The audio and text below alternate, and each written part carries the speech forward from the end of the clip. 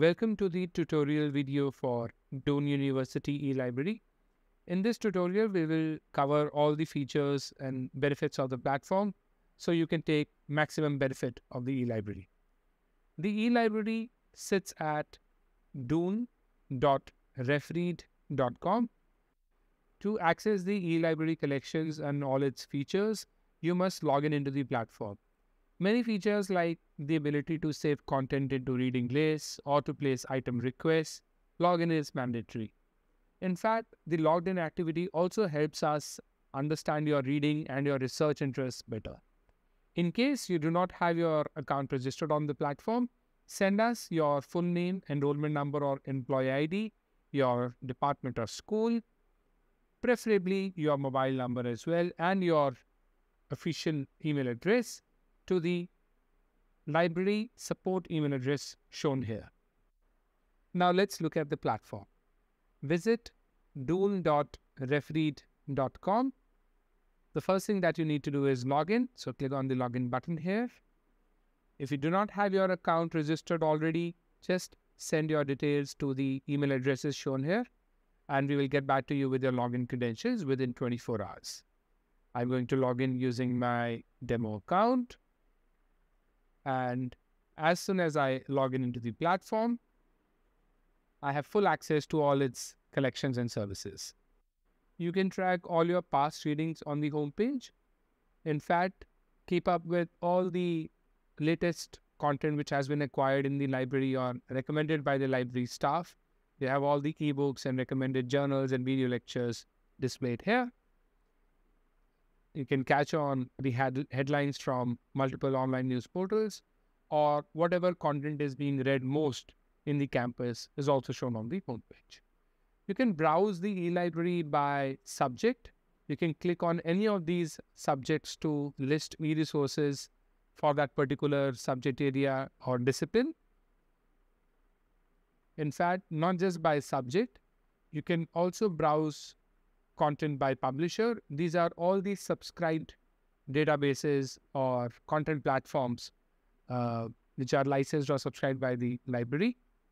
So let's say you want to read a journal from AIP, click on the link, it will display all the journals. Click on the read button and the platform will take you to the publisher platform wherein you don't need to do any parallel login on the publisher platform. The publisher platform will recognize you as an authenticated user of Doon University, and you will have full text access to all the articles, uh, both in HTML format as well as you can download the PDF if you want to. So basically, the experience that you uh, now uh, had only within the campus is accessible to you across the globe. Similarly, you can access all these publishers uh, one more publisher which we wanted to highlight in this tutorial is the latest acquisition by the library called PressReader, which is the world's largest aggregator for newspapers and magazines. In case you wish to read any magazine, let's say India Today, just click on the read button and you will be authenticated on the publisher platform automatically and you can read the latest issue of that particular magazine or newspaper, both in the exact uh, representation as it is uh, printed in physical format, but you can also read articles in uh, rich text format as well. Uh, this is how you switch over the views from page view to text view. You can click on the text view and you can now read this article in simple HTML text view. You can in fact also copy the entire text on your clipboard in case you want to refer to an article in a magazine or a newspaper. You can also do text to speech. So this platform has an inbuilt text to speech reader. So you can also listen to articles. And not just for the current issue, the platform gives you access to archives for over a decade. So you can go as early as 2012 and you can read the past issues of a particular newspaper and magazines as well. Uh, this is how you can filter content uh, from India on the homepage. And these are all the renowned newspapers and magazines that you might want to read on Pressreader. It's a brilliant platform. Do give it a try. Like AIP and Pressreader, let's just go back to the platform now. You have access to all the publishers 24 7 from anywhere uh, across the globe uh, and on any device of your choice. In addition to subscribed databases, we have also curated open access resources from green or gold standard repositories. There are close to a million plus theses, videos, ebooks, and journals, uh, all combined uh, and uh, curated to support your research and learning needs. Uh, even in case of videos, you will find there are close to 1,24,000 uh, educational videos and classroom lectures curated from more than 200 different platforms, and NPTEL is only one of them. So it's a great collection of open access resources that you can take full advantage of. You can also browse content by media. Herein you will find Doon University thesis as well listed as a document format and you will find all the uh, electronic theses and dissertations uh, aggregated here. Uh, we will keep building these topical collections. Uh, one of them is Doon Institutional Repository already aggregated here. By department, you can browse resources. And these are the previous year question papers for, let's say, Department of Computer Science. We will keep building more topical collections as we go forward. The platform also has a rich news uh, clipping service wherein the library staff is uh, uploading latest uh, e-news related to university. And uh, you can also catch on the headlines from uh, more than 50 plus online news portals. And the platform features expert talks from channels like TED, Big Think, there are close to 10,000 plus expert talks and also uh, literary works in Hindi, English, Urdu, and Punjabi. There are close to 16,000 uh, ebooks or audiobooks which you can download. These are 100% open access literary works and you can read them on the e-library. Now let's look at the single window search and how you can discover content on the library. So you can use this basic search bar and I'm going to use quotes on my search to look for content having climate change as a phrase in the title. So you see here, I got about 1400 uh, catalog results, which includes all the journals, ebooks, videos, both open access and subscribed content. So in one search, I get to see all the publications. And if library team has uploaded anything into the topical collections, it will appear here.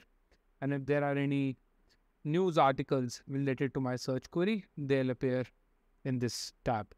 I can also see expert talks or literary works uh, related to my search query.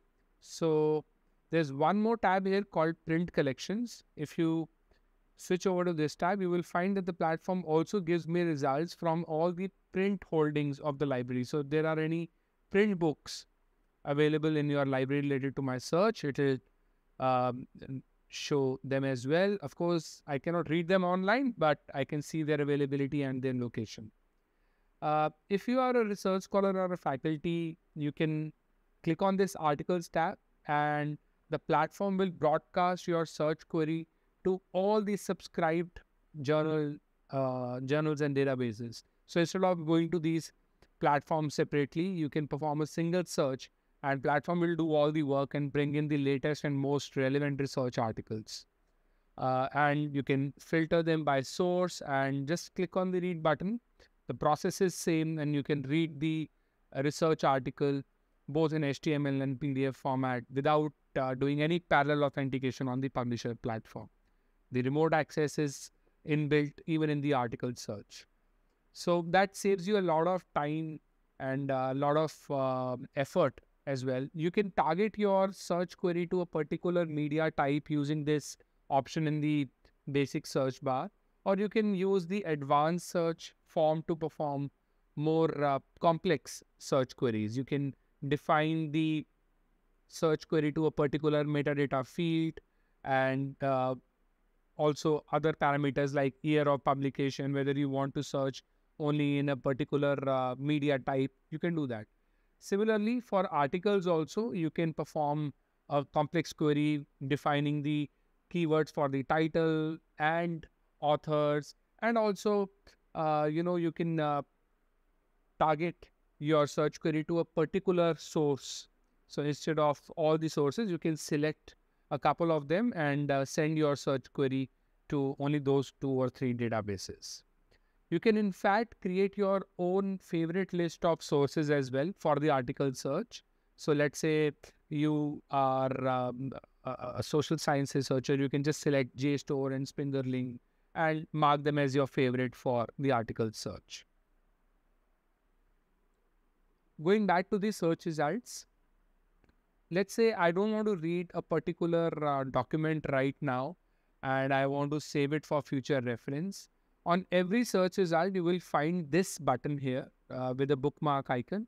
Click on this and you can uh, create a folder.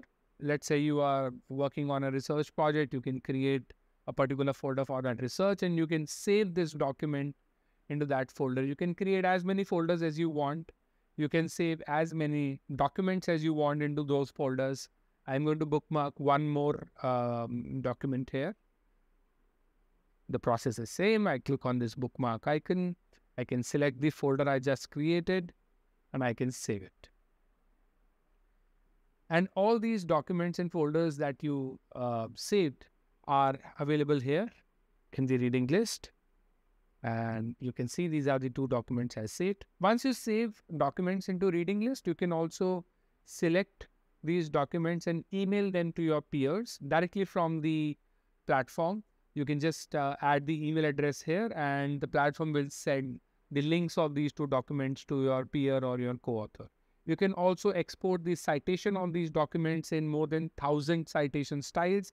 So let's say I want to export uh, the citation in APA6 format. I select that and I click on the generate citation button.